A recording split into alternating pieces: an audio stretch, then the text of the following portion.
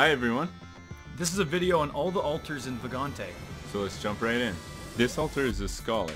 You can give him books and scrolls to gain favor, and he will pay out with spellbooks.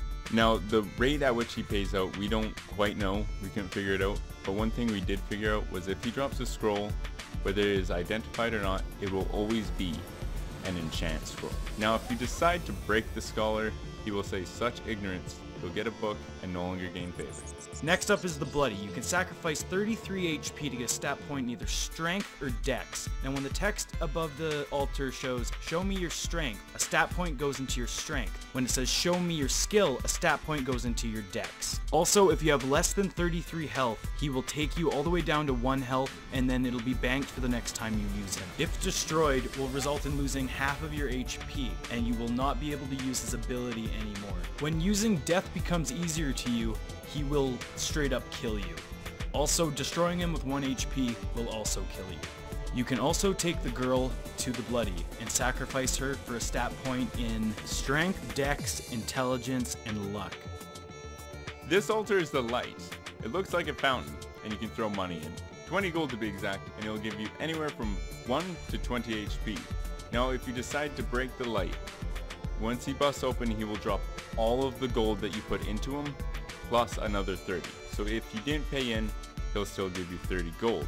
There are downsides. The screen will permanently get darker and your view distance will permanently get shorter. You can regain favor so you can heal again. To do so, you must pay back everything you stole when you killed. Him. And if you happen to find a tunic or chest piece that has the attribute coins seem to heal your injuries and you break the light, the amount of gold you can get back can heal a substantial amount. Okay, now onto the Shackled. Now this guy can take your cursed items and turn them into god curses. He can also be used to discover if what you have is cursed. If you give him three uncursed scrolls, you will get a ring called Adherent's. Ring of the Shackled. This ring can also be God cursed as well. This ring's ability is to power you up with every cursed item you have equipped. Sadly, we discovered that it must not be implemented yet because we have done extensive research and no stats were affected.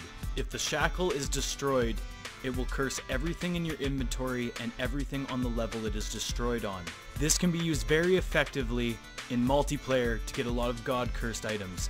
This altar is known as the Deranged. He will accept anything, even arrows as payment. In return, he will pay out with armor, weapons, and potions. He also has a chance of dropping Chaos Scrolls in a stack of 3 to 5. These will imitate the Chaos Wand, and an even smaller chance to drop the Blink Dagger. This dagger teleports an enemy when you attack them. It also deals negative 1 to 7 damage. Have fun with that. Some of his other payouts are giving you potion buffs and debuffs, along with catching you on fire, tossing you, taking health from you, teleporting you 1 to 5 times, or launching spirits at you. If you decide to break the deranged, the message will appear above his head